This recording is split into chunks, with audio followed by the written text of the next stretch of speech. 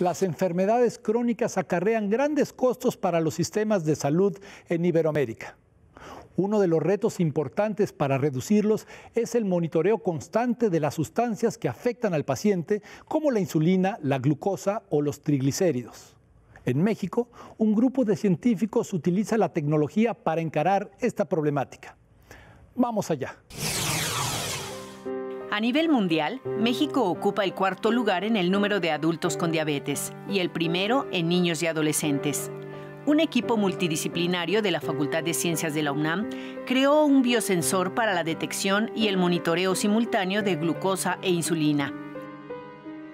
Justamente hemos eh, ideado y desarrollado un sensor que nos permita de manera fácil, práctica, eh, barata, que cada quien en su casa se pudiese medir una serie de moléculas y hormonas, em, por ejemplo, glucosa e insulina es una de las principales ramas de este sensor y eh, que no solo pudiera hacerse en su casa, pero también en centros de salud donde no hay este tipo de recursos.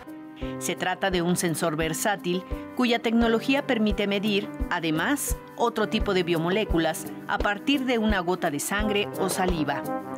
Por otro lado, estamos desarrollando la parte electroquímica, que es la parte eh, que en este caso detecta la glucosa, pero que en sensores de otro tipo podría detectar, por ejemplo, colesterol, triglicéridos, ácido úrico. Hemos desarrollado una técnica en la cual con la misma muestras se pueden medir en cuatro electrodos diferentes, lo cual aumenta mucho la certidumbre de la medición porque disminuye el error.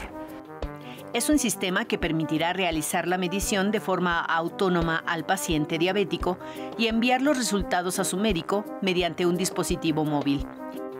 Esta innovación ganadora de dos premios de investigación de Google y Canifarma 2016 podría facilitar la optimización de recursos en los centros de salud y hacer más eficiente el seguimiento de los pacientes.